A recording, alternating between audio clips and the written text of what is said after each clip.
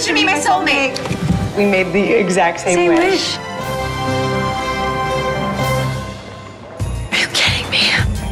Wait, wait! The car. How much do you want for it? My sister is getting married, and her wedding dress fitting is this afternoon. You can ride in the car with me, but I'm planning on listening to the Central Park Carolers Christmas album. I love the Central Park Carolers.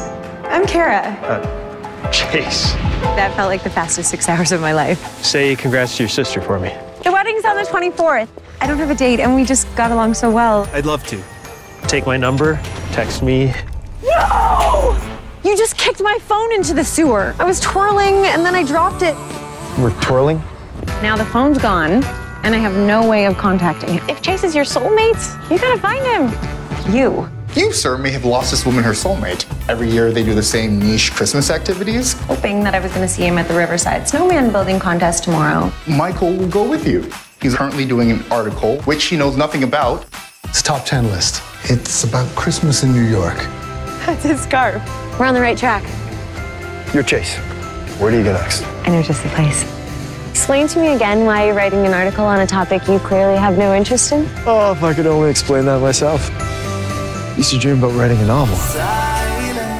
My dad. He died when I was a teenager around Christmas time. Run around the city with you. I feel like I'm reliving more good memories than bad.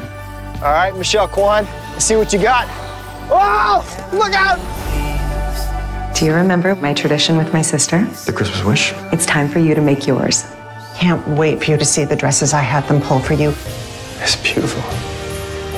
Michael, Looking for someone? Her name is Kara. She says she comes here for the peppermint hot cocoa.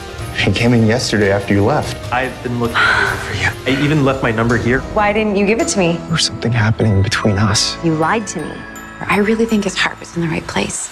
Sometimes your soulmate is the person you least expect. My boss wants me to go and write my novel. It seems like your Christmas wish is already coming true. How are you so sure you know what I wish for? You mean to tell me that you didn't wish for your novel to get published? That is exactly what I'm saying. Then what did you wish for?